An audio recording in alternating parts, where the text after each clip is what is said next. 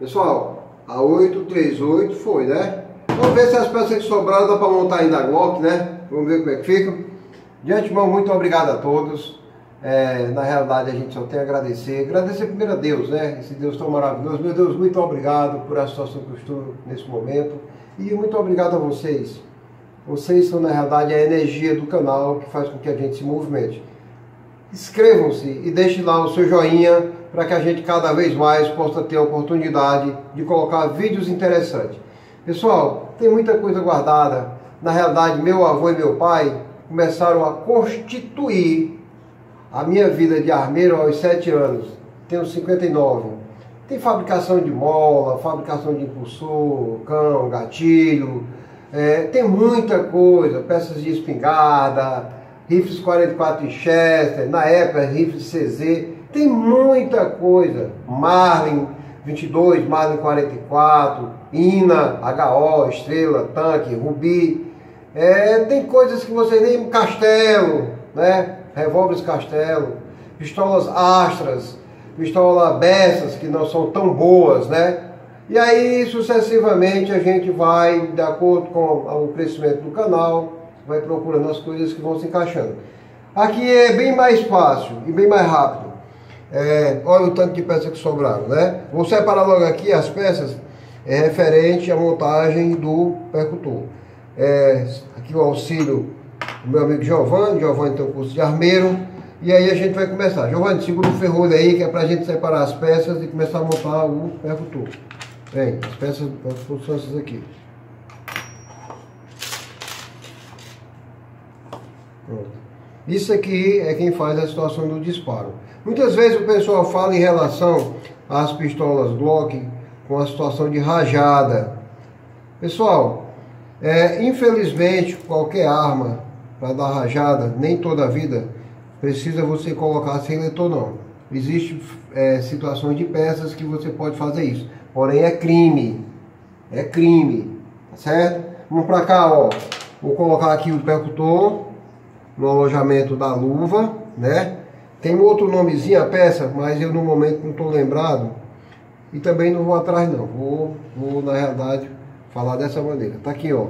Coloquei aqui, ó. Ó, vamos desmontar. Coloquei aqui, ó. Vou colocar a mola. E agora eu vou colocar as bandinhas da meia lua, como é conhecido, na mola. Ó, coloquei a primeira, ó. Tá dando para ver, João Vitor? Nossa Vou colocar a segunda. Elas aqui é quem fazem a pressão. Inclusive, muita gente diz que para fazer o amaciamento do gatilho da Glock, tem que trocar essa mola. Na realidade, pessoal, se você cortar e você precisar, você danificou. Ó, é só isso aqui, é a situação de disparo, ó. Ó. É. Eu, geralmente, quando eu vou fazer o amaciamento de qualquer arma, eu faço é, a situação de uma mola nova. Eu tenho esse conhecimento vindo do meu avô e do meu pai. E coloco, e a mola original eu entrego o proprietário. Vou montar aqui a parte do ferrolho, né? Essa pistola, como na realidade é uma situação de segurança, a gente não coloca esse retém. Esse retém do percutor. Ele não tem necessidade, né? Ele não vai na realidade fazer falta na hora que a gente for trabalhar. Não vai fazer falta. Deixa eu olhar aqui o que tem aqui dentro. Tem algum corpo estranho aqui dentro que não está deixando entrar. É bem a molazinha que a gente estava procurando. Me dá a chave de fenda ali, me dê. Pronto, saiu, galera. Já. Saiu aqui, ó, pessoal. Saiu, era uma molazinha que a gente estava procurando. E ela, na realidade... Pronto. Pronto, aí. Vou colocar aqui, ó, o extrator, ó.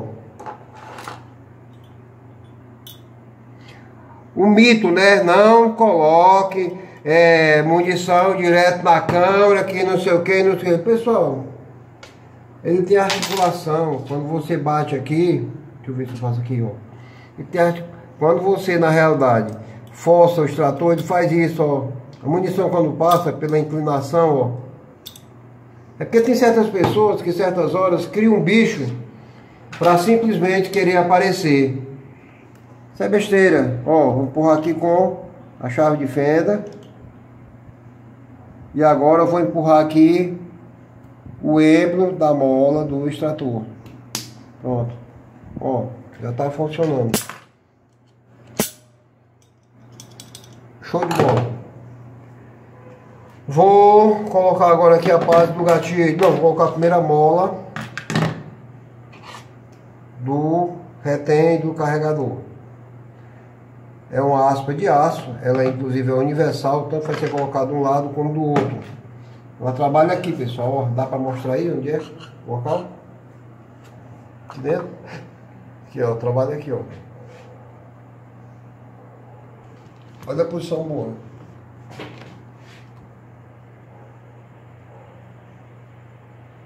Deixa eu ver se eu consigo, se tu consegue ver eu colocando ela aí.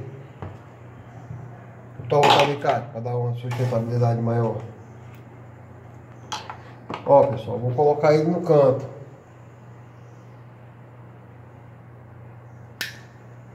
Já coloquei. Já foi.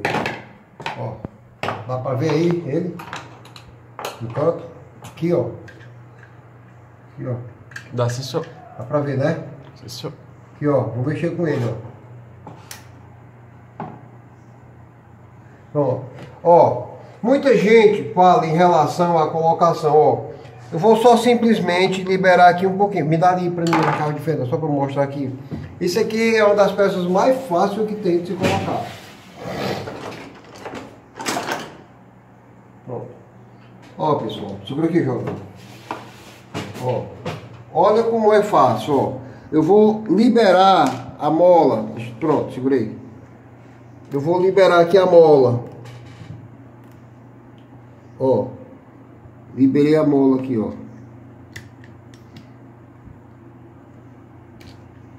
Não tô vendo. Ó, o negócio é só a gente... Pronto, aqui deu certo. Ó. Tá vendo aí, ó? Ó, liberei, ó. Liberei a mola, ela tá por cima, ó. Coloquei. Com essa chave de fenda aqui, ó. Chave de fenda virada, preparada. Somente para isso, ó. Chave de fenda, ó. Vou colocar aqui para vocês verem, ó. Ó. Pronto, já coloquei, ó. Vou tirar só para vocês verem de novo, ó. Dá, ver se dá para ver aí, ó. Ó. Tirei. Vou colocar para vocês verem, ó. Chave de fenda, ó, ela vai entrar aqui a mola, ó. Vai entrar aqui, ó. Partido no meio, dá para ver aí? Chave de fenda. Deu para ver, né? Ó. Vou colocar aqui, ó. Ó, tá, dá para ver a luz aí, João Vitor? Tá? Tá dando para ver? Senhor. Ó, pronto. É só encaixar, né, ó. Já tá do jeito. Vamos botar aqui o corpo do carregador. Segura aí, Giovanni. Show de bola. Vou fazer agora a caixa do mecanismo. Gatilho. Mola. A posição certa é assim, ó. Para ela poder virar.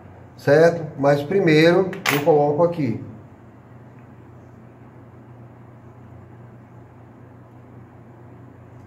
Ó. Coloquei, ó. Já tá na posição. Agora eu vou colocar. Aqui, ó. É tirante, armadilha.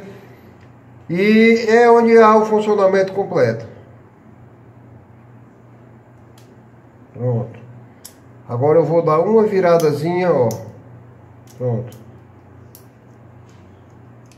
Vou virar essa mola para poder ficar melhor.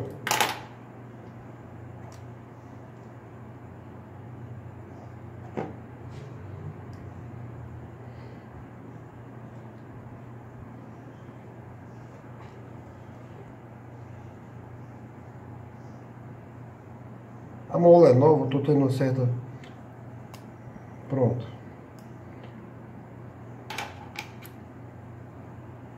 Essa mola foi trocada recentemente. Pronto, virei a posição, tá show de bola.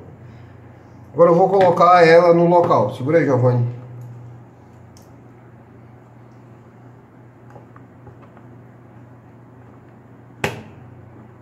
Show. Vou colocar agora o bloco.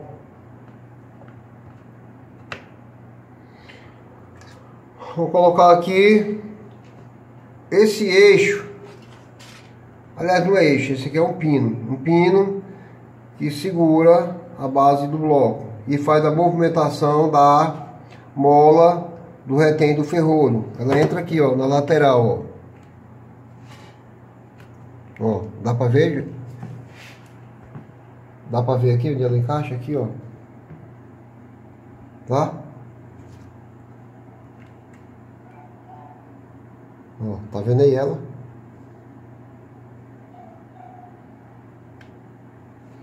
Pronto, segura aí, Giovanni. Esse eixo, aqui é um eixo, esse de cima é um pino. Ele na realidade é quem faz a prisão do retém do ferrolho e ao mesmo tempo segura o bloco. Ele não precisa ser batido, é só encaixado, ó, já encaixou. Pronto. Para que eu possa ter a movimentação completa do mecanismo, vou colocar esse esse pino, aqui é um pino, inclusive é de polímero, né?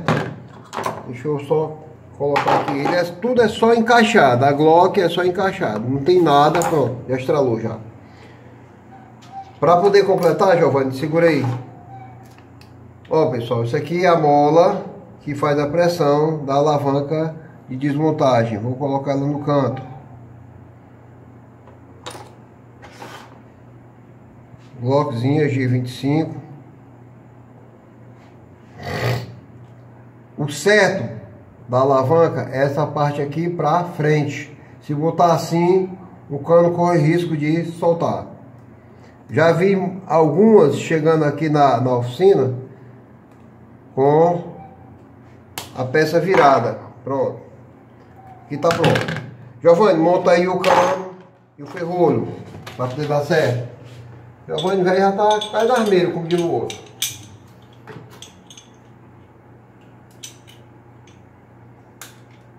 Ó, monta aí no restante.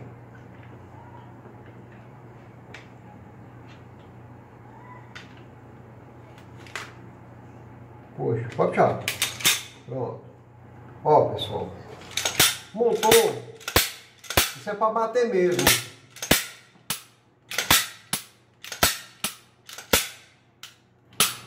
Quando você bater as duas primeiras vezes, aí você dispara Segura o gatilho, ó. Tá, tá, segurando o gatilho, ó. Aí eu vou puxar mais uma vez, ó. Soltei o gatilho. Aí, ó. Aí tá normal. Monta aí, Giovanni, o carregador. Contrário.